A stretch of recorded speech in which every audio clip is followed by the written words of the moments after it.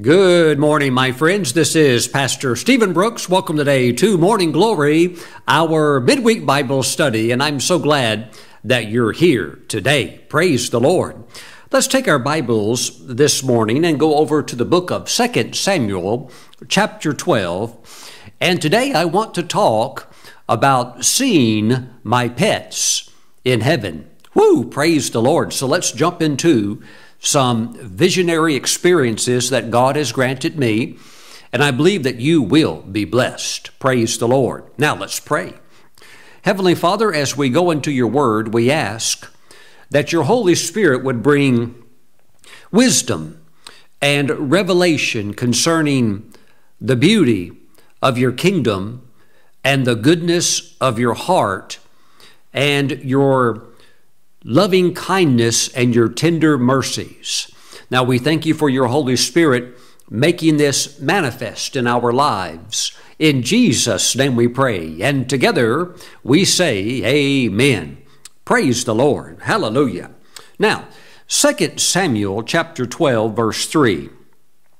But the poor man had nothing except one little ewe lamb, which he had brought, which he had bought and nourished and it grew up together with him and with his children.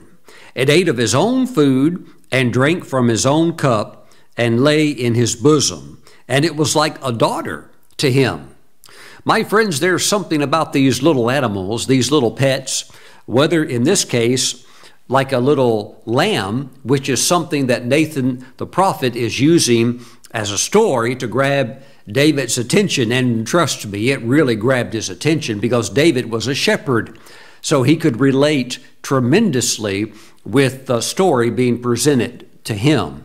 But whether it's a, a lamb, kitty cat, or puppy dog, or whatever it might be, whatever the type of animal, uh, even a bird, I tell you, these little creatures have a way of grabbing a hold of our hearts and what could be a household pet becomes a uh, like an extended member of the family. It's uh, it's like a tremendous love that can form. And I know that for some, when their pets die, there have there are some people that they love that little animal so much that they can go into a depression, into a grief, and some actually have a very hard time pulling out of that because maybe you know you have family members and you love them. And of course, if a family member gets older and passes away, you feel sorrow and you miss that person. But perhaps the person wasn't really that close to you. And perhaps maybe uh, they were distant and you didn't, uh, even though you're blood related, you just didn't really connect heart to heart. But yet, that little pet was in your house 24 7, maybe sleeping in the bed at night with you. And when that little animal grew older and then died, it's like, wham, I tell you what, it can really hit you really, really hard. So I want to talk about these things today because as believers, we actually have a supernatural hope. Praise God. Because we are living for eternity in the Lord Jesus. Praise the Lord. So let's talk about some of these things today. And I actually felt led of the Holy Spirit to share some of my testimonies of having been taken to heaven. And I'm when I say that, I'm not talking about a dream or some kind of fabricated experience. These are all genuine, valid visions that God gave to me, and I actually saw uh, heaven. I was there in my spirit. I was taken there. My body was on the earth, but my spirit was taken to heaven. I have been allowed to walk around certain parts of heaven, certain parts of paradise, which is an outer part uh, that's um, like a gigantic park, bigger than our planet. And it's really uh, uh, there, it's so big that you can't see it all. It's going to take a lot of time for us to get familiar with it when we get to heaven. But I want to tell you uh, some things that I have seen while I have been in heaven. And today we're talking about specifically pets in heaven. Woo! Praise the Lord.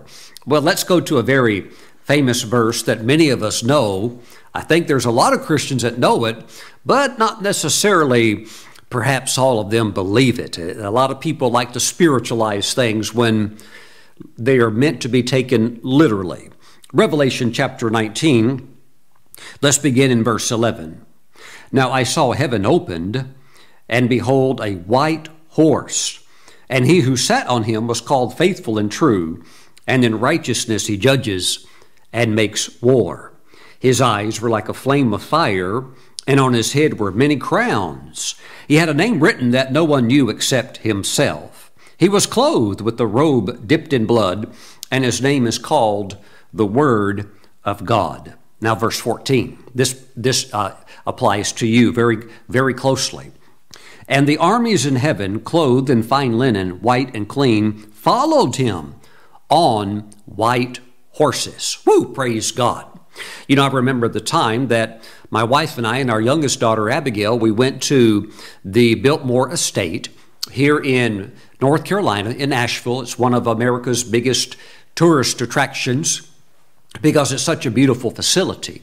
But they also have a, uh, a trail hike that you can do. A lot of, not, of, uh, not many of the visitors know about it, but you can actually go on their horses and um, they can take about 10 to 15 people on horseback and they can take you back into the further acreage that the Biltmore owns. And so you get away from the crowds and you get to go back and see all of the beautiful land that is owned, and it's a very, very nice ride.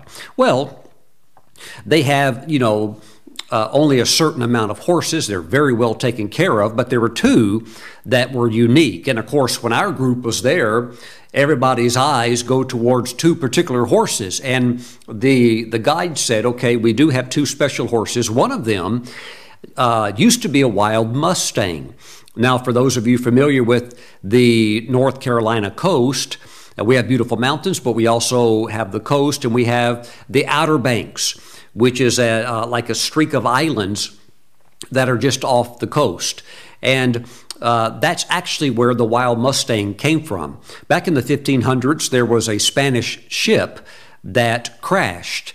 And I'm not sure what happened to the men. I think they got picked up later by another ship. But all the horses back in the 1500s got stranded on this one island. That was actually called Mustang Island, but the horses would actually swim from island to island. And today they actually walk around on certain parts of the Outer Banks, and uh, they are the wild Spanish Mustangs. Well, out of everybody there that day, um, the only one person was going to get the ride the Mustang, and it just so fell by how we had just randomly all lined up because we didn't know who's going to get what well, my daughter got the Mustang. so uh, she was real happy about that. But I was real happy also because they only had one white horse. Guess who got the white horse? I got the ride on the white horse. I, I felt like I was identifying with uh, verse 14, maybe seeing into the future a little bit. Praise God. But it was a lot of fun. But my friends, there are uh, some preachers even who surprisingly enough, I've actually heard some really good ones say that there's no animals in heaven. And sometimes you can't help but uh, scratch your head and think, wow, the person has a PhD in uh, theology. They speak uh, English. They, they are learned in Greek and Hebrew and yet it seems like they can't uh, read the Bible. What's going on? Well, Pastor Steven, those aren't real horses. Well, well, sure they are. That's a real Jesus riding on a real horse, and we will be real redeemed saints riding on horses when we come back. Wow, praise the Lord. There's some interim things, of course, that happen, but that's going to take place.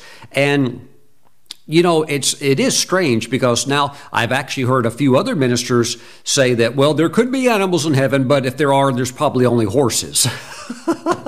and so it's it's just it's very interesting the way that people think.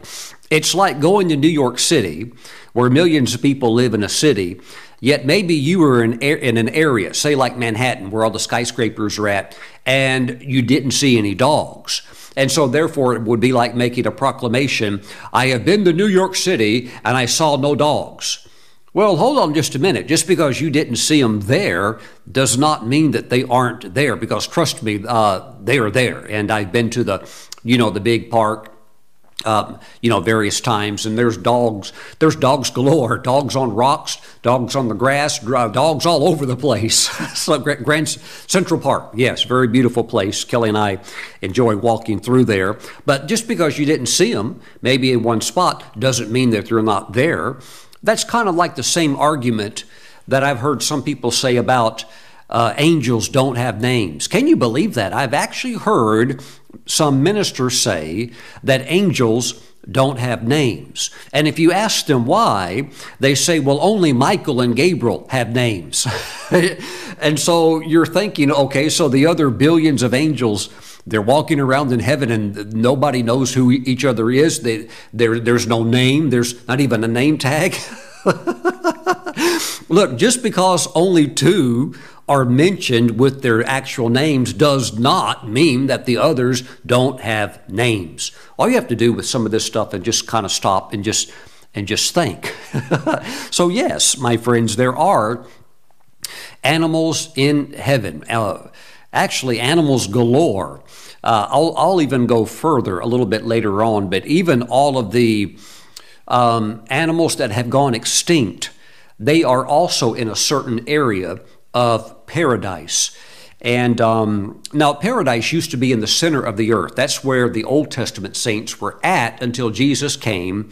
And after his death, he went down into the center of the earth. There was a there was the area of Hades, and there was the area of paradise, and there was a chasm that nobody could cross over. Well, he took the Old Testament saints and that area of paradise out and um, when he ascended on high, Ephesians chapter 4, he took captivity captive.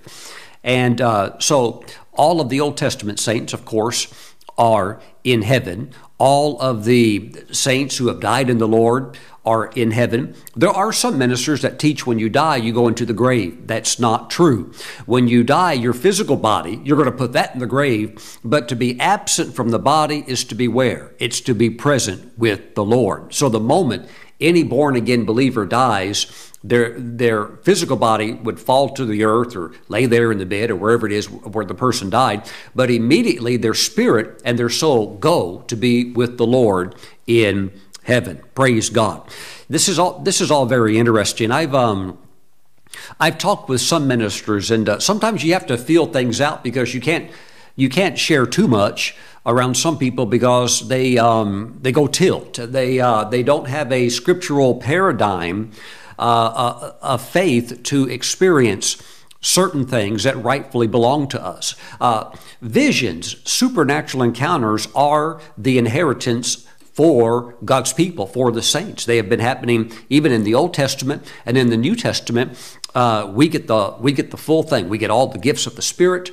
We get tongues, also an interpretation of tongues, but all the, of these supernatural encounters, that is a portion, a part of our inheritance. So sometimes I've uh, talked to certain ministers and who've, uh, uh, some of them have had heavenly encounters, and uh, they would play it real safe. They would say things like, When I was in heaven, I saw angels. Well, sometimes when I'm around them, I ask them, What else did you see? Well, I, Pastor Steven, I saw angels. Did you see anybody else? Did you see any people? Now, that's interesting. No, I didn't. like as if you can't talk about the redeemed saints. Are they hiding behind uh, golden thrones or something? No, they're there by the multitudes. And uh, so that's why I enjoy talking with those who are prophets now, you don't have to be a prophet to have a vision, but um, my prophet friends that, that as we exchange stories, they're like, yeah, I, I, saw I saw this person or I talked to this person because I've had the same experiences. I, I have been to heaven in visions, and I have not only seen redeemed saints because they're there, they're there by the millions, if not billions, but I've also had the privilege to be able to talk to a few. So um, I, I have met even one of the 24 elders and I've met the Lord Jesus. And uh, probably the greatest experience of my life was meeting the Heavenly Father and going before the throne and having Him uh, speak to me, and He even held me. And uh, uh, I would say that was life changing for me. But my friends, God wants you to also have uh, supernatural experiences, not anything that we would ever try to force or, you know, coerce uh, there are many people in New Age.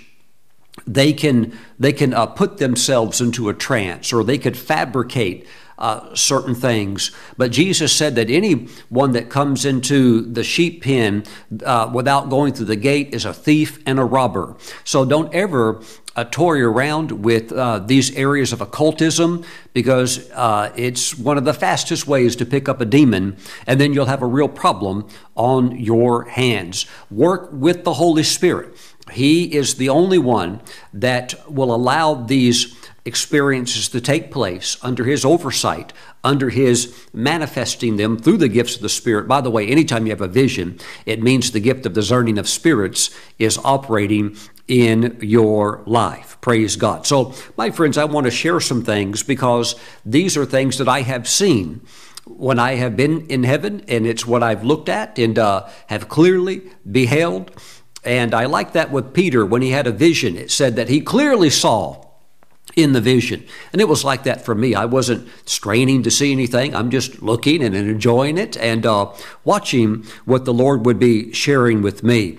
So, let me share what happened with our first dog that uh, Pastor Kelly and I had. Our first dog, her name was Tabitha. And Tabitha was very special because we had um, thought for a while, hey, let's get a pet, let's get a dog. But we didn't know what kind we wanted. But we were praying about it, and we happened to see a Walt Disney movie that came out that year. I think it was 1998 and actually 1996. I see it on my notes there. Uh, it was called 101 Dalmatians, where we watched that movie and uh, didn't really connect with the Dalmatian dog, but there was the rescue dog that rescued all of the little Dalmatian puppies, and that dog was an Airedale Terrier. And the moment we saw that dog, we thought that's the kind of dog that that, that breed is the dog that we want. So we went on a search, and there were some breeders. At that time, we lived in Southern California, and we found some breeders, and uh, there was one uh, uh like an hour and a half away and we drove, and uh, they had some puppies, but the conditions were pretty rough. Um, they were living outside. It was probably about 20 degrees, and there were water puddles everywhere. All the dogs were covered with mud, and there was one sitting over in the corner, a little puppy, shivering and shaking and looking very sad and forlorn. And Kelly saw that little puppy and said, "That's the one right there." Well, that was that was Tabitha, and so. Um, at that time, we didn't really know it, but some years later, we would be traveling full time in a motorhome preaching all over the country, and we took all of our belongings and put them in storage for years. And we just traveled. And Tabitha was with us in the motorhome, and uh, uh, our daughter was homeschooled, and we were just on the road. By the way, let me pop up a picture of Tabitha. And I think that was probably taken around uh, the year uh, 2001. Praise God. She was a really sweet dog, and she was a protector because when we were traveling so much on the road um, uh, that uh, every every night sometimes was a different place, a different city, and you know you're looking for a place to park, so we would park at different places at night, and sometimes you thought, oh, well, I wish we had maybe a more secure place to park, but you know, it's 10 o'clock at night. I'm tired driving. We got to stop. And so you'd pull over somewhere, uh, preferably somewhere safe. And that's what we would always try to do. But Tabitha instinctively would sleep right by the door as a guard dog. And there were times she, she did, with that loud bark, prevent obviously something going on outside where uh, there were some su- suspicious people uh, checking us out. But uh, you know, the years just went by, and she was like family with us because when you're that close for years in a 30 foot space and you're there, you know, like all, just like all the time, just about everybody gets to know each other really well, and there's a love and it was a sweetness. And even after we phased out of the motorhome because uh, it was just too slow and we needed to be able to travel faster in ministry. Whenever we would come home, there's Tabitha, and she was always well taken care of. When we would travel, she would be put in a really nice kennel, but she was like a part of the family to us. Uh, but she got old and she lived to be 11 years old. And at the age of 11, uh, she got hit with that thing that really hits terriers that's hip problems. And her hips began to deteriorate. And, her, and she was also getting real old. Her body was beginning to shut down. And all of that beautiful strength and energy she had when she was young, it was all gone. And she was very old, and she began to get in tremendous arthritic pain. And the vet said, um, Steve and I suggest that you and Kelly uh, put her to sleep because she's lived a long life in, in dog years, and she's in excruciating pain. And so Kelly and I both agreed we needed to put her down, which is the humane thing to do. Remember, these aren't people, these are animals. And um, so you would never put a person down, but uh, an animal out of compassion and love, you don't want to see them in horrible pain. And so we decided to do that. So Kelly said, uh, Steven, it's too hard for me to be there when this takes place. Please, please, you be the one that goes. I said, okay, I'll do that. And I was thinking, okay, this this will be okay. Well, I'll get this done, and this won't be this won't be too hard. But I'll tell you, when the vet gave her that shot, and Tabitha collapsed in my arms, and just that quick, she was gone. Uh, it hit me like a ton of bricks. I realized she's gone. I saw the life in her, you know, leave, and she's, and I'm holding her in my arms, and I realized, my God, she's gone. And then, then like sudden, deep tears, and uh, and I tell you what, it wiped me out for a couple of days. Wiped Kelly out too, because it hit us so hard. We realized that she was gone, and it really, really uh, made me sad. Now, I want to share something. I want to be honest with you. Um, it uh, it hit me to a degree where I, I actually allowed myself. I shouldn't have done it. I didn't really understand at that point because I had hadn't really encountered something like that. But I actually went into grief. And I, I could see how a person could have uh, a problem where they might not even be able to pull out. But I got into grief and I was very, very sorrowful. Now, later, the Lord told me, just a few days later, um, He told me, don't because uh, I, I, I, was taken to heaven. Uh, and he also told me at the conclusion of that vision, he said, Don't allow yourself to go into grief again. He said, You feel their absence, you feel the hurt, but don't go into grief because you have hope because you belong to me and you're going to see her again. And so that that kind of uh, has allowed me to see all of these things now from a different perspective. Of course, we can know that in our heads, and when the real thing hits, it's still a matter of walking through that. But in that time, I was just wiped out. Kelly and I were wiped out. Um, but it was a few days after that, I had another church service coming up. It was Wednesday night, and uh, we went ahead and did the Wednesday night meeting. And that night, I taught and, you know, just kind of pressed through that. And at the end of the, of the service, I was actually dismissing everybody and uh, was getting, I was actually doing the closing prayer. And, uh, you know, uh, that was it, and we're going to wrap things up. And right in the middle of that, when it was the dismissal prayer, right in the middle of that, that it looked like everything opened up to me like in a um, 8K giant television monitor screen. And I began to see into heaven. and it was totally unexpected, but it was like a phenomenal vision that took place right in front of me. And I just told everybody very calmly, very peacefully. I said, Church family, I'm going into a vision right now. God bless you.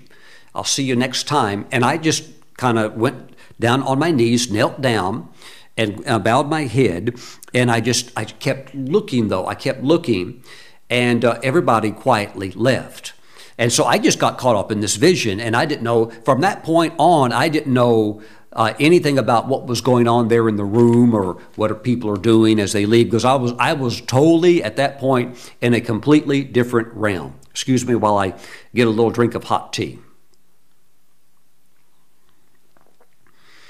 And when I saw into heaven, I saw the area of paradise and I saw a phenomenal park when I say big, this, this alone was a dog park.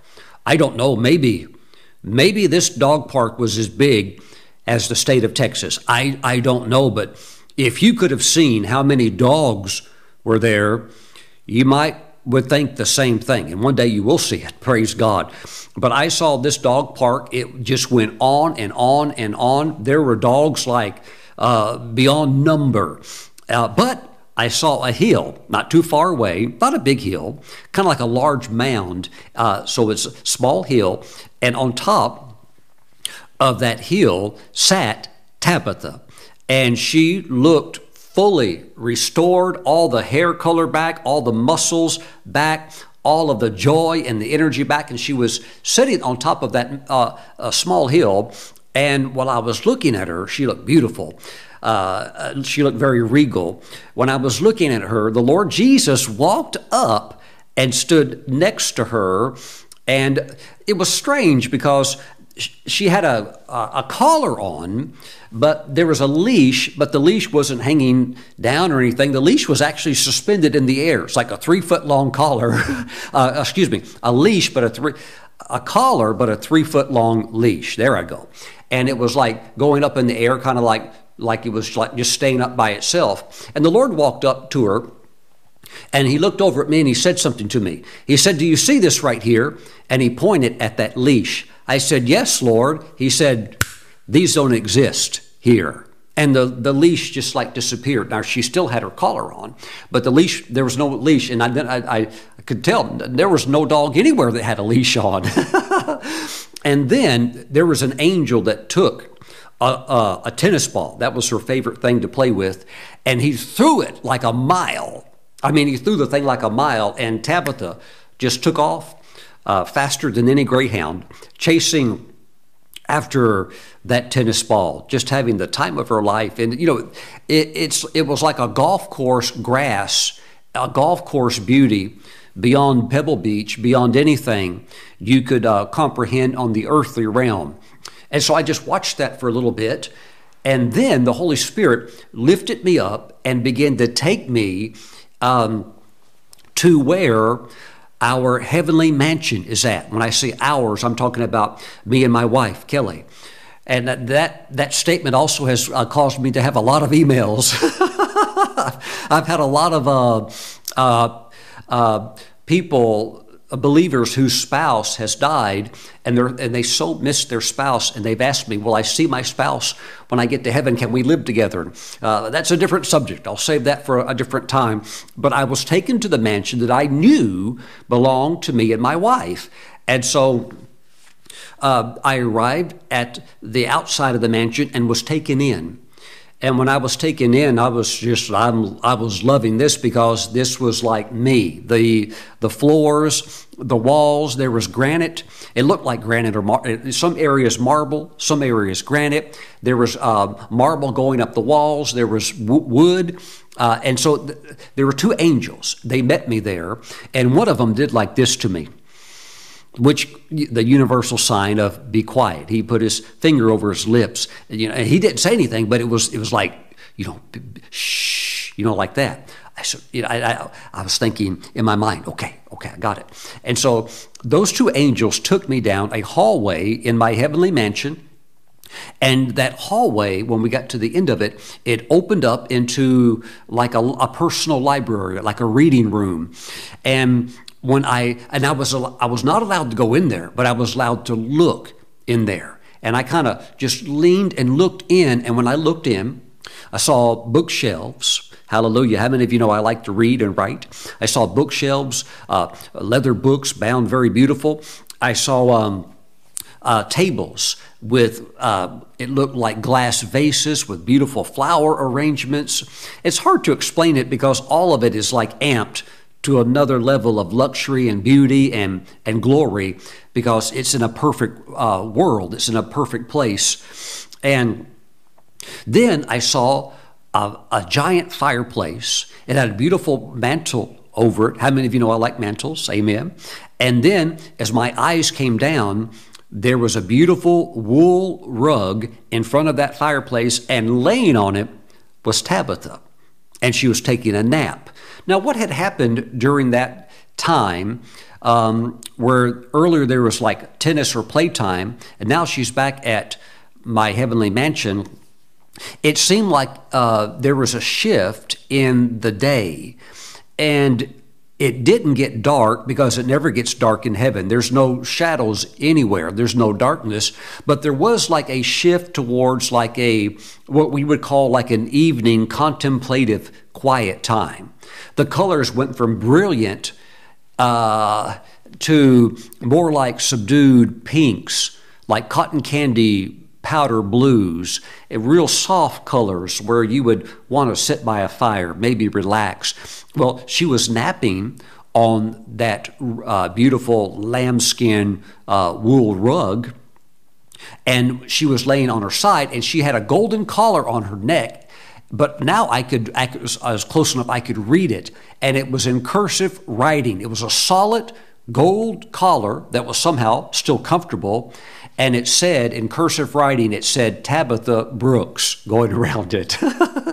and when I saw that, I almost came undone. But the angels could see that really hit me with the love of God.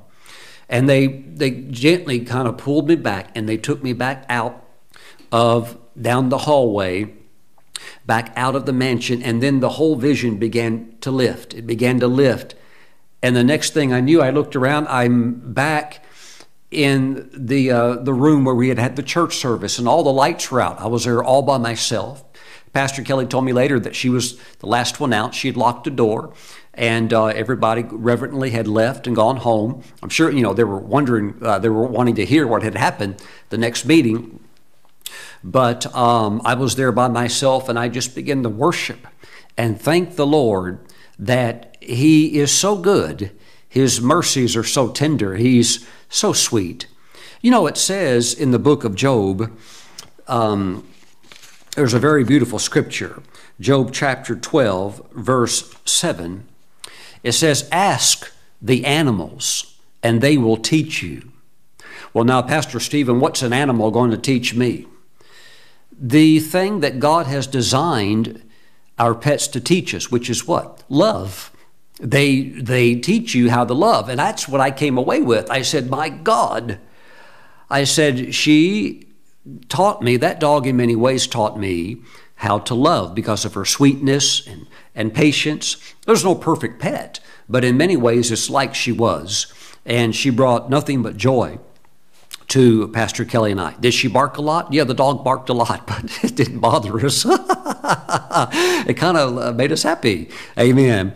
Uh, but that's my story of Tabitha. You know, um, once I was in Jakarta, Indonesia, and I felt the Holy Spirit wanted me to share uh, the vision of when I saw Tabitha in heaven. And I just shared that story. And then when I was done, the host said to me, Oh, Pastor Steven, you must share this with somebody. Uh, he said, I'm going to get this person here tomorrow. He said, the person lives in Hong Kong. So that night he called the person in Hong Kong and said, You must get here. You must fly to Indonesia. You must get here tomorrow morning and hear this story of Pastor Steven's vision of having gone to heaven and seen his dog. And I asked the host, I said, Why is it so important? He said, Pastor Steven, this man's uh, Dachshund wiener dog died 25 years ago, and he is still in a depression. He has been depressed ever since the day the doggy died, and he's never pulled out of it. And well, guess what? The next morning he was there. He had caught an overnight flight. He, he went out immediately, bought the ticket, caught the overnight flight. And uh, the next day, the host and this dear man were at my hotel door and uh, knocking on the door. I said, Come in. And the host said, Pastor Steven, here's my friend. Uh, could you please tell him the vision that you saw? And I did. And when I shared it, it brought it it it brought to his heart closure. He had never had closure because he thought it was over. He thought he'll never see his beloved little pet again. I said, Oh no, that pet's in heaven waiting for you. and it lifted all of that depression and sadness and really hopelessness off of him. And it brought closure to him for the first time in 25 years. Praise God. Thank you, Lord Jesus. Now, the second pet that Pastor Kelly and I had is Truffles, a Welsh Terrier. But let me come back to Truffles in a minute, okay? I'm going to skip her for a moment. And I want to uh, tell you what happened actually right here in this very building that I'm at. This is uh, my internet studio number two, but this is also in the fellowship hall. And something special happened right here when my wife was working uh, late one night, and it was winter. I was actually over in the sanctuary, so I didn't know what was going on. But she was, my wife Kelly was here with our daughter Abigail, and it was drizzly outside, way below freezing, and um, just yucky weather outside. But we were working late that night, so um, Kelly is in her office working, and she hears like a, a sound at the door, like a like a scratching sound, and she thought, "Well, I wonder what that could be." So she gets up out of her chair, walks over to the door, and looks through the security window and doesn't see anything.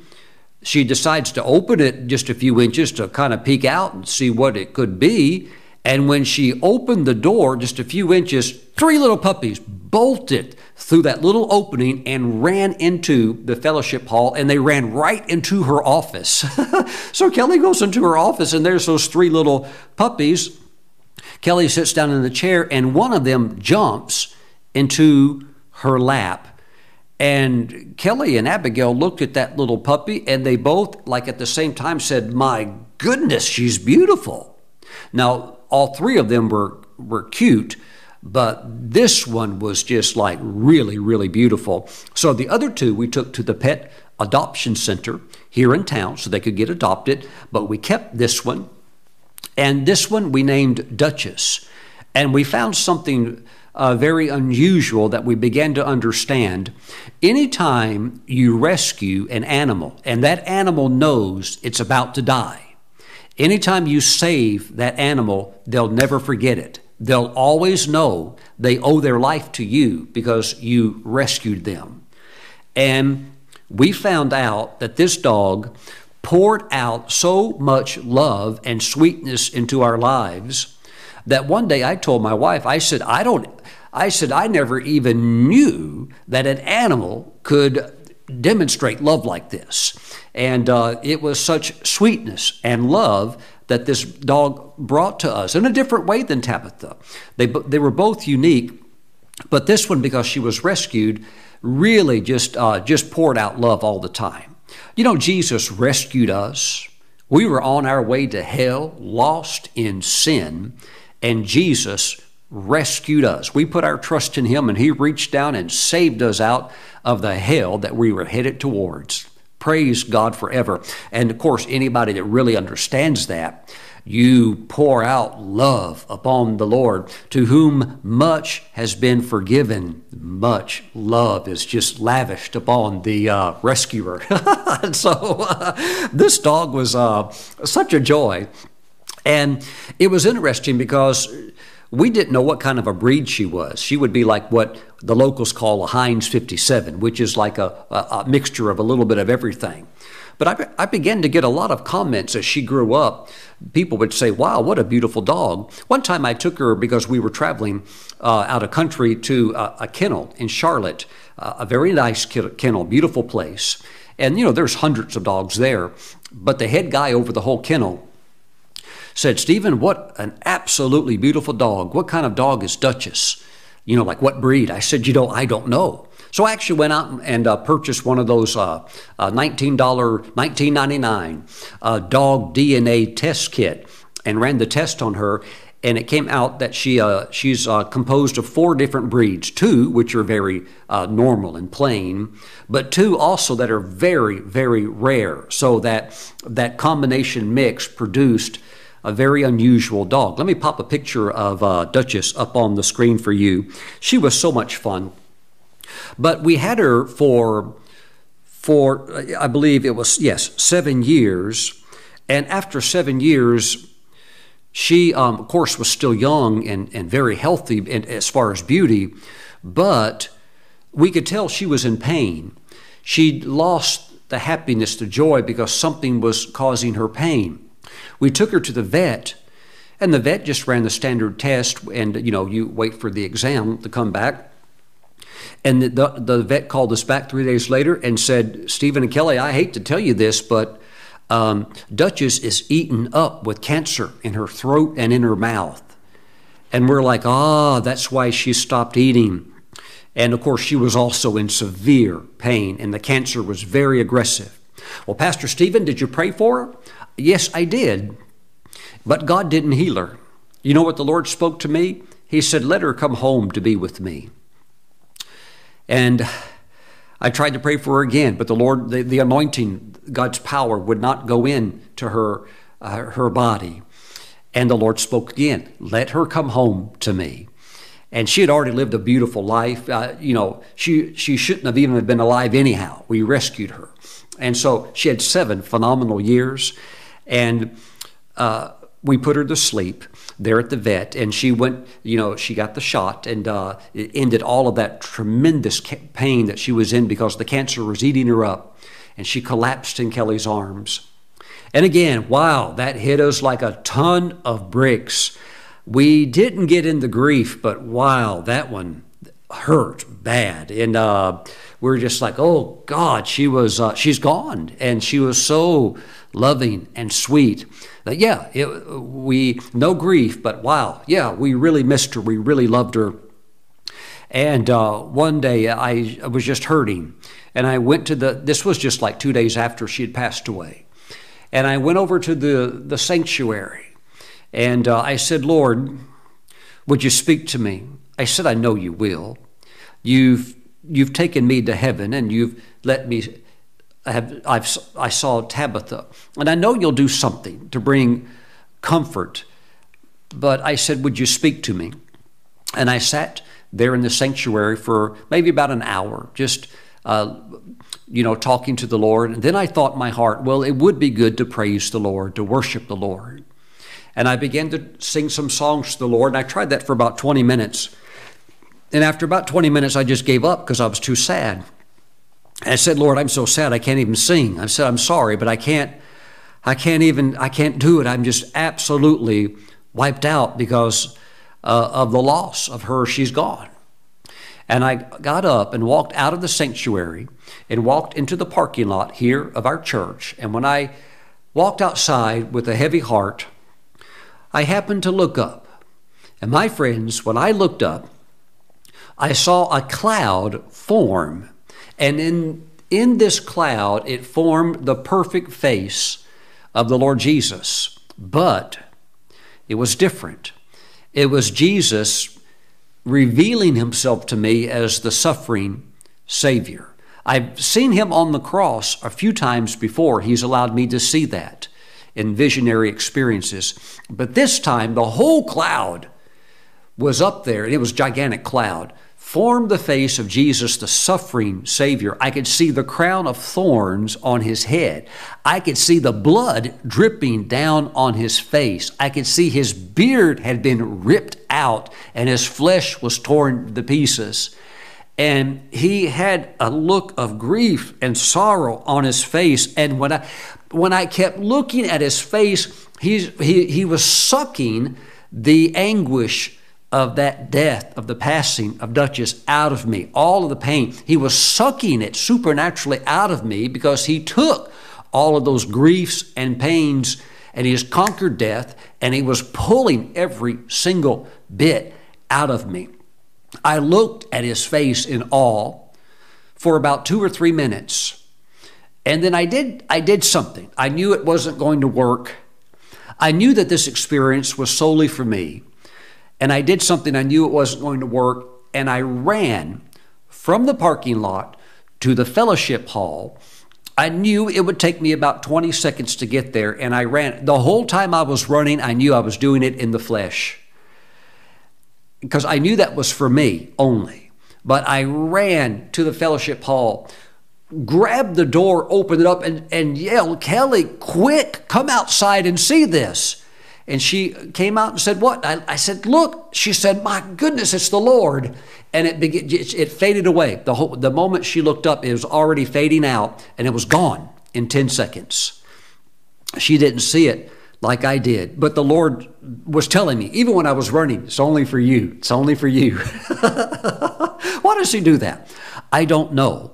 But I have found that there is a grace that God has given me where I can I can go up at times to see things that others, perhaps whatever reason, may not have that grace to see, but I can see it and then relay to them at least what I saw to bring closure for them. Amen. But it seeing him in anguish, in agony. See, the, the thorns, those thorns were that long or longer were rammed into his through his skull into his brain with inexpressible pain and agony.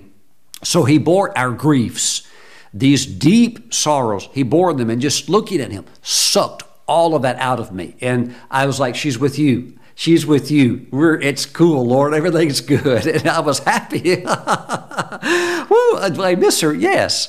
But I knew I would see her again. Praise God. The Lord is good. I want to talk a little bit more. I'm sharing these things because of emails I've received recently of people that have their precious pets that are just about to pass. And I know what they're facing. And I know others also who maybe don't know these biblical things I'm sharing with you of how good God is. And so I want to get the word out. Praise God. I believe it's a timely word. Now, let's go on to the next one. Two more I want to share with you. The next precious animal that showed up on the scene was one that I felt was sent by the Lord to my house. I was at my home one day and I looked out the window. This was two years ago, two and a half years ago. I looked out the window and I saw a cat, kitty cat, go by that looked like he was on his last leg. What I mean by that is he looked like he, he was skin and bones. He looked like he probably couldn't live maybe three more weeks maximum. And I said, Kelly, I said, I, am seeing a feral cat, a stray cat, that um, obviously is homeless. Looks like he's not going to make it. We better get him some food. So she and I went to the pet store bought some kitty cat dishes, filled them up with food, put out fresh water, and the next day, sure enough, he found it and he started eating them. Uh, excuse me, started eating the food, but he was he was wild. Um, one time, I actually watched him to see after he ate where he would go back to his hiding place was, because we have a lot of woods towards the back area of our, our house. So one day I followed him from a distance. He couldn't see me. I followed him and I found out where he was living. He was living in a drainage ditch that goes into a culvert, and uh, which is like a pipe underground. Uh, it was about that that big, maybe like a foot opening, and that's where he was living at. The poor little fellow, and. Um, so I made a little nest of straw for him outside of the house. It was wintertime. And sure enough, he started laying down in the straw at night and he wanted to be close to the house. And it took me a couple of weeks feeding him and talking real sweet to him uh, before we could actually get close enough where one day I could touch him. And one day he finally let me pet him. And uh, he was still skin and bones, but he's eating, so he's at least he's starting to get some strength back. And as the Lord is my witness, that day when I touched him for the first time, I heard music start to play in in the background. There was music back behind me that started playing, and I heard a beautiful male voice with like a with like a, a symphony backing this person up, singing the song that was written by Michael W. Smith called Friends Are Friends Forever. I actually heard that. And I looked at that little kitty cat and I named him Simon Peter because cats like fish. And P- Peter was a fisherman. I said, Simon Peter, from this day forward, you're going to be you're going to be a friend to me. We'll be friends forever. And you're going to be like a little son to me. And so uh, that music played for about a minute or two and it stopped. Some of you have heard that uh, world famous song. Um, how does it go? Friends are friends forever when the Lord's the Lord of them. And it goes on. It's just, a, it's like, in other words, when God puts friends together, they're friends forever in Him because this is an eternal thing. But anyhow, I always knew in my heart that this little guy would not live long. But me and Kelly took him to the vet, got him his shots, got him cleaned up. And, uh, and, and the vet said, yeah, he, he wouldn't have made it through the winter. He was almost gone for.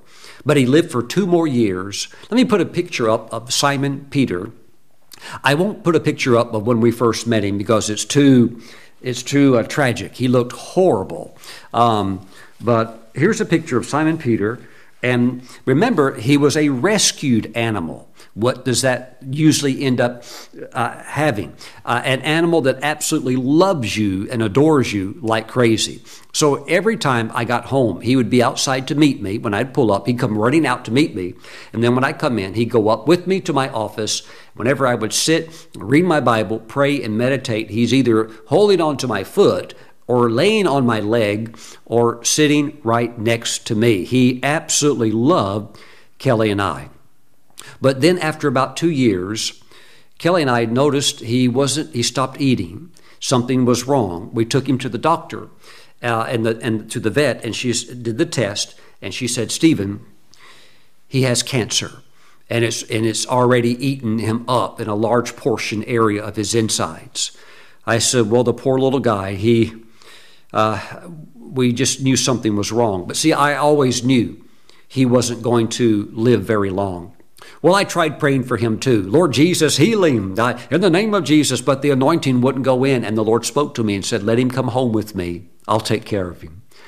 I said, Oh Lord, this one I really love because this one came to me. This one ran to me. And so he and I were like, there was like a real love there. But the Lord said, Let him come home to me.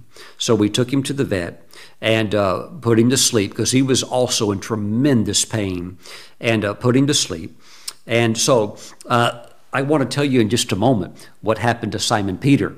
But in order to do that, I now want to loop back to Truffles. Now remember, Truffles was our second dog, but she lived for nine years. And because of that, uh, she was still alive when there was Duchess. She was still alive when there was Simon Peter. So those precious animals passed on, but we still had Truffles. She was going long haul with us. And uh, Truffles was a lot of fun. She was a Welsh Terrier. Here's a, a picture of Truffles. Uh, Welsh Terriers love to climb. There's something inside of them where they want to get to the highest point, whether it's on your office table or on your kitchen countertop. Uh, so they love to dig because they were bred to, you know, dig out rabbits and to, you know, hunt for vermin and things like that. So they're a very, very quirky breed of dogs, and uh, Truffles was like that. She was very hard to understand, but once you understood her nature, you uh, i remember kelly and i began to understand her we're like this dog is a genius because initially you would think she's stubborn but then you realize no she's actually very very smart. So she was a lot of fun and she you know of course was with us with uh, uh, the other precious pets. And uh, truffles was very precious. But as she got to the age of nine, she began to have this, a little bit of the same problems that terriers have, which was uh, the hip problems. But she, um, she had another internal problem where she got hit real hard, real fast. And again, we had to put her to sleep because of the tremendous pain that she was in. She was in so much pain that despite how much she loved us, she would actually growl, get real upset if you moved her because she was in such severe pain. So finally, after nine wonderful years, we had to take her and put her to sleep. And Kelly and I were both there. Kelly was there when the vet gave her the shot, put her to sleep, and she, you know, fell into uh, Pastor Kelly's arms. And all of the precious, wonderful memories, boom, hit you so hard, hit you so hard again. No matter how many times you've been through it, whenever there's genuine love, uh, it hits you really, really hard. And so, um, you know, she's now been put to sleep. And it was a it was a few days after that where I had a tremendous experience with the Lord. Praise God. I was in uh, I was in prayer, and I went into a vision, and the Lord took me to heaven. And this was amazing. When I, because heaven is so big, it's a lot of different places. This time when I went to heaven, I saw there on a riverbank a beautiful, uh, like a, uh, it's like a small, looked like a small river, and I saw an embankment, a phenomenal looking grass. So there's there's the river, and then there's the embankment, and then up here would be the top part where the grass is now level. And sitting on the top of the grass, right next to the embankment, were, you ready for this? Number one, there was Tabitha. I hadn't seen her in years. Number two, there was Truffles. Number three, there was Duchess. And then number four was Simon Peter the kitty cat. And they're all four sitting together. And I'm standing with an angel a little ways back watching them. They did not see me, and the Lord would not allow me to go any closer or to see them. But I was looking at them. There, uh, in front of them on that beautiful river were some swan, white swan, and they were just phenomenally beautiful. And from time to time, people would travel up and down, heavenly redeemed saints would travel up and down that river, and they would look up at my animals and they would say, Those belong to the Brooks family. Those are the Brooks's pets. I could hear them say that. and they knew whose pets those were. Okay, at, at this point, the Lord backs my peripheral vision back. So I, it's like everything got expanded out more. And when things were enlarged of my view, I suddenly realized more of what I was looking at. I, I almost wanted to shout because I realized that this river, because it was small, was not actually the main river. It was a tributary that was flowing off of the main river of life written of in the Bible in the book of Revelation. So you have the main uh, river itself, the river of life, but there's tributaries that go in different places. And this was a tributary just right off the river of life, and they were sitting up on that embankment watching all this activity because there's a lot going on in the main river. Wow, I looked at this and then, oh God, hallelujah. I, I screamed with joy. I got so excited because the, the Holy Spirit made me to understand that our mansion is just right over there. So they were very close to where our heavenly home is at. So the Holy Spirit revealed to me that this is what my pets do sometimes during the daytime. The angel comes and takes them there to the riverbank, and they are content to sit there sometimes all day long. And what was amazing is that, you know, cats and dogs uh, very, very rarely would get along. Uh, either, you know, got to separate them, give them some distance. Sometimes they can, depends on the breeds.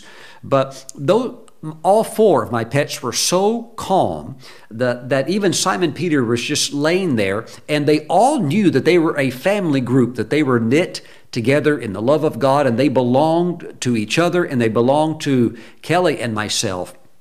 And oh, it was just, it was um, so much of God's love I felt. Um, and at the same time, as I'm saying, the Holy Spirit was showing me something. Let me preface this by saying this. One time, my wife and I were in London, and we left London and we went to Oxford, England, and we took the train. And there was a point on the train where we went past one of these little English villages that uh, I saw something that's like forever etched in my mind. We went past one of these villages, and I saw a small village and a house to me that was so beautiful and there was a river going by it and there were swans there in the water and because I'm on a train and I saw it and it only lasted maybe 5 seconds but it was an unforgettable memory in my mind because I thought to me that was the most beautiful place I'd ever seen on the earth. Having been privileged by the Lord to visit many different countries that 5 second image of that little English college home was just like heaven to me well, what I saw when I was watching my four pets and that tributary coming off the river of the life, the tributary I could see led to what looked like an English cottage. Now, this is outside of the city of heaven, but it led to an English cottage, and I knew that Kelly and I's mansion was there in that cottage, and that's where my dogs had uh, and Kitty Cat had uh, been brought from because they, they were obviously close by to where our house is at. I got so excited I screamed with joy. Woo! Glory to God. Hallelujah. And then the Holy Spirit turned my attention towards the heavenly city, and I knew by by supernatural knowing that Bill, Bill Hart, Kelly's father, who I had the privilege uh, of leading to Jesus, an old Irishman who immigrated to America and made his way successful and raised a family in America, I, but he never lost his thick Irish accent, never lost his Irish uh, identity. I knew that he was in the city, in the in the heavenly city, uh, uh, doing some activities uh, that day, and I knew they were also Irish related. I said, Oh my God. I said, Lord Bill's there, isn't he? He's having a really good time today. He's doing something even Irish. And it was such a happy, happy thing. Praise God. Amen. And then it began to fade out, and the vision began to lift, and I'm back. I'm back where I was at, spending time with the Lord in prayer. Wow. Praise God. What a beautiful Jesus. What a beautiful plan. Hallelujah. And my friends, God God has a miracle for you. If you have a, had a pet that's passed away, but you want to have that pet in heaven, that pet will be there waiting for you. Look at this beautiful scripture, 1 Corinthians chapter 2 verse 9. But as it is written, eye has not seen, nor ear heard, nor have entered into the heart of man the things which God has prepared for those who love Him. Amen. You know, I've always known that it was a reality that there are our pets in heaven. Uh, but until I had these visionary experiences, I never had a, how can I say, uh, uh, more weight applied to that. You know, when I was um, in my 20s, when Kelly and I had gotten married, uh, I was asked to be uh, the president of a chapter of the Full Gospel Businessmen's Fellowship International. And so Kelly and I ran that for over a year. We had our meetings there in Irvine, California, which at that time happened to be where the world headquarters was at. So, because we met every week and we were right next to the world headquarters, we got some of the most phenomenal speakers, world class ultra wealthy businessmen, businesswomen. It was just, uh, and God was saving people, miracles were happening. It was a beautiful thing. But my treasurer, uh, who was a very godly man, his wife uh, was a prophetess. Now, at that time, they were in their 80s and their lives would uh, would end just a few years later as they would end their li- lives out and go on to be with the Lord through um, just old age. But Henry was my treasurer. Maya was uh, his wife. And Maya was very influential as a, a woman of God. Uh, when Demos Shakarian really needed to get a confirming word on something that he believed that he was hearing from God, he would go to Maya. Maya was also the woman that God sent to the sign business of a man named Gary Greenwald and told him, You're supposed to get out of this business and you're supposed to start a church. And you know what he said? He said, The only way I'll get out of this is if God bankrupts this business. And well, God bankrupted his business. and he went on to start a church that grew to about 4,000 members. And uh, he ended up becoming my pastor and a great spiritual mentor. But she's the woman that God used in that. So, what would happen sometimes is that after our luncheon meetings were over with these uh, chapter meetings, uh, I would sit around and I would ask Maya questions about heaven because she was a prophetess. And she told me one of the stories that happened to her when she was taken to heaven on a certain occasion. And she was allowed to meet her father. Now, her father, of course, was a Christian man, a good man, and he had died years before he was in heaven. But she was allowed, she was allowed to meet him. So she was taken in a vision in her spirit to heaven. And uh, she met her father, and her uh, father said, I want you to come see where I live. And um, she went to his home. Now, she said, um, this was very interesting because in heaven there are what we would call the proverbial mansions. There are homes that go beyond description because um, everything is just so beautiful and there's, there's homes that are gigantic. Well, she said when she got to her father's place, he had what we would call, from an earthly perspective, he had more of what we would call like a condominium, like a real nice townhome.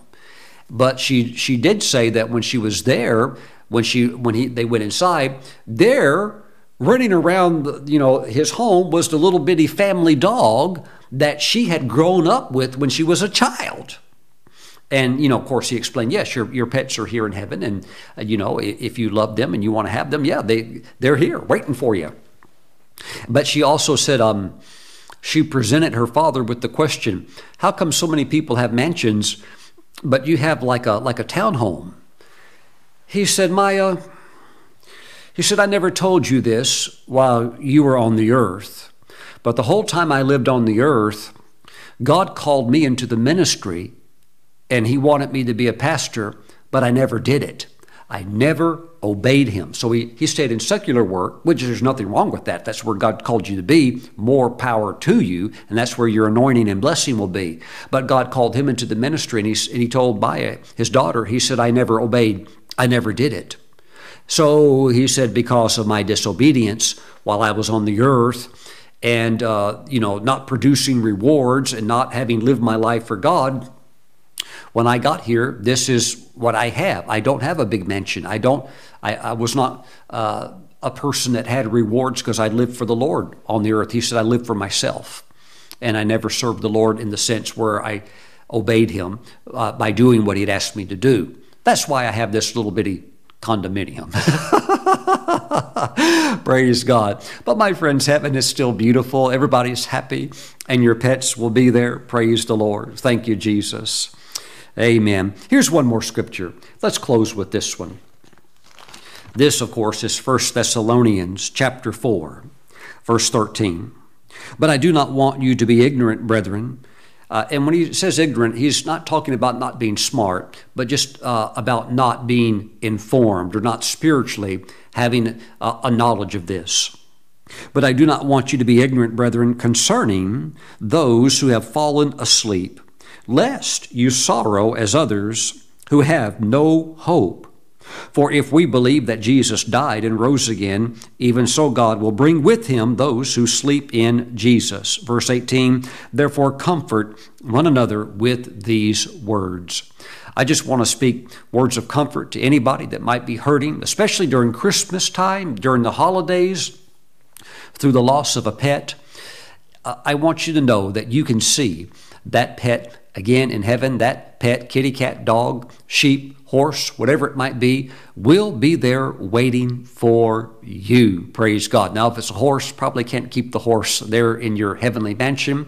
But you have to understand also there are homes in heaven because heaven is a city. Okay, but there's also homes that are outside of it. Maybe you want to think of it as uh, suburbs. That's where the area where my wife and I's mansion would be. It'd be more like a suburb outside of the main city because you can go through the city anytime that you want to. Praise the Lord. Glory, glory to God. My friends, there's only one condition in order to see your pets in heaven is that you have to be born again because you can only go to heaven if you are a Christian. Okay? So if you're watching today and maybe you just clicked on this message because you're curious about uh, what the message would be, and, but you really loved your pet and you want to see your pet again, you have to have your life right with God. Okay? So I want to pray for you right now. For anyone that would not know the Lord, pray this prayer, but you but you want to get your life right with God. You want to see your pet again. Pray this prayer right now. Say, Lord Jesus, I completely surrender my life to you. Please forgive me of all my sins. Wash me with your precious blood. I believe that you died on the cross and that you were buried and that you have risen again to be my Savior. Jesus, save me now. Write my name in your book of life. Thank you, Jesus. Thank you so much for saving me. In your name I pray, O God. Amen and amen. Hallelujah. Welcome to the family of God. and yes, you can now see your pet again too when you go to heaven. Praise the Lord. And who knows, you might have a bunch more. Amen. My, my wife and I, we've got we've got some more years. Amen. Or until the Lord comes back at least. And uh, The, the Lord has sent us, or the angels have directed to our home two more little little uh, furry friends. Let me pop them up on the screen uh, real quick as you're t- taking a look now at onyx and opal. Praise God. Amen. Total feral, never wild. They have still never been touched by any human ever in their life. We have been feeding them now for about about four months, and they were just um, uh, left left to their own, totally out in the wild. Uh, but we put some food out when we saw them, and uh, they are growing up beautiful. We feed them every day, talk to them. Amen. And the Lord brought them. Hallelujah. And they make my wife and I happy. Amen. There's more room on the riverbank. Praise God. Hallelujah. But my friends, let us let us love the Lord who has rescued us. Let us understand what Jesus did for us that no other person could ever ever do. He loves he loves you so much. Amen. He's going to make your wildest dreams come true because again, it's all because of his great love for us. All right? So let's let's celebrate the Lord. Let's take holy communion together. Praise God. Let's thank him for his precious gifts. And maybe there's somebody watching today and you're a little rough around the edges, but you love animals. Let the sweetness come through. If, if there is an area where there's judgment or mercy, I know sometimes we have to be real strong and maybe even go with judgment, but if possible, try to show as much mercy as possible, even as you're doing what you have to do. Let the, the kindness of the Lord, the sweetness, the goodness of the Lord be very strong qualities in your Christian life. You know, there was a man one time that when he was a little boy, he had a pet lamb and he absolutely loved that lamb. Just like Nathan told the story to King David, he absolutely loved that little lamb. It was, it was his life because his father was abusive, his father was an alcoholic, beat him. And, uh, and so that was his consolation with this, this little lamb that he had. Well, one day, in front of his own eyes, his father, in a, in a drunken rage, took the lamb in his hands and killed it and smashed it and killed it right in front of this little child. And it traumatized him. And he became bitter and full of rage and anger towards everything, anyone, anybody that would represent authority.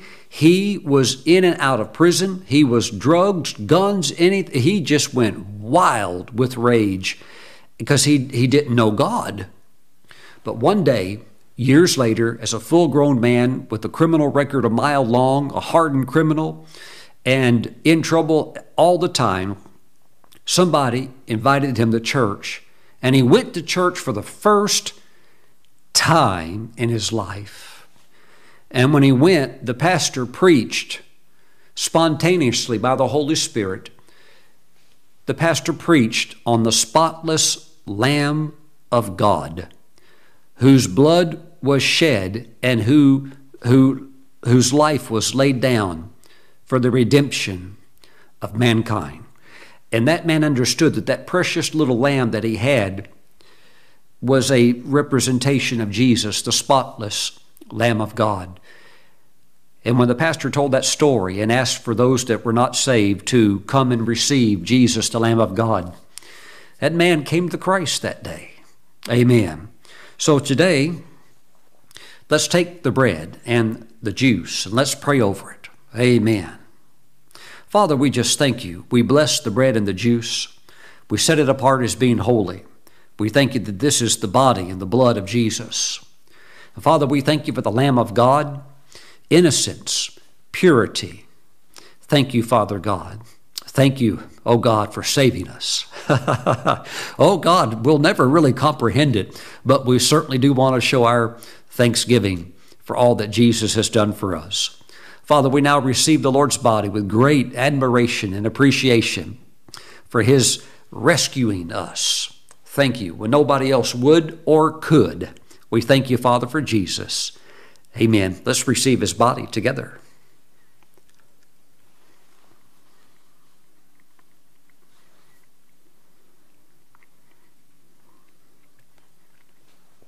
Praise the Lord.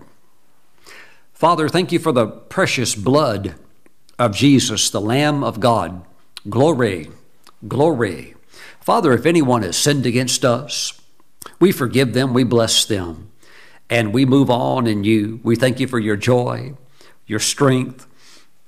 We thank you that we are ready for heaven, and one day we will be there. But for now, we must live for you, and we must walk through this fallen world. But Father, we thank you that you're with us. Greater is He that is in us, your Holy Spirit, than He that is in the world. And we thank you that you have nothing but victory for us, goodness for us, and we give you all of the praise. Thank you, Father, for the blood of Jesus. We receive it now. In His name we pray. Amen. Let's drink together. Praise God. God's going to send some people across your, your way, your path, that might look irredeemable, unrepairable, broken, and unfixable. But He wants you to know that if you'll reach out with His love and just do your part, share the good news with them, share Jesus with them, then God can rescue any lost soul. Amen. But He needs you to be the lifeline. He's the salvation uh, life preserver that you can throw out, but He's got to work through a person. He's the head, but we're the body. Praise God. So let him work through you because there's going to some some people going to come across your path. Maybe they're maybe they are addicted to the most awful drugs, fentanyl, crystal meth or heroin or whatever it might be, and you might think there's no hope. With Jesus, there is. Praise God. Maybe you come across somebody that's just a, a whoremonger, just totally immoral. But you know what? Maybe they've never heard the gospel. Maybe they're just walking in their father's sins and this is the only life they know. But you can speak a word and God can reach that hard heart. Praise God. Father, we give you praise. We thank you that during Christmas, many people are actually often hurting. While there's a lot of merry and laughter and a lot of joy and a lot of eggnog being drunk uh, and a lot of lattes being made, there's a lot of hurting people. Father, we just thank you. Let there be rescuers in Zion. Let your people be sensitive. While they drink their eggnog, let them be sensitive of those that could be on their final leg.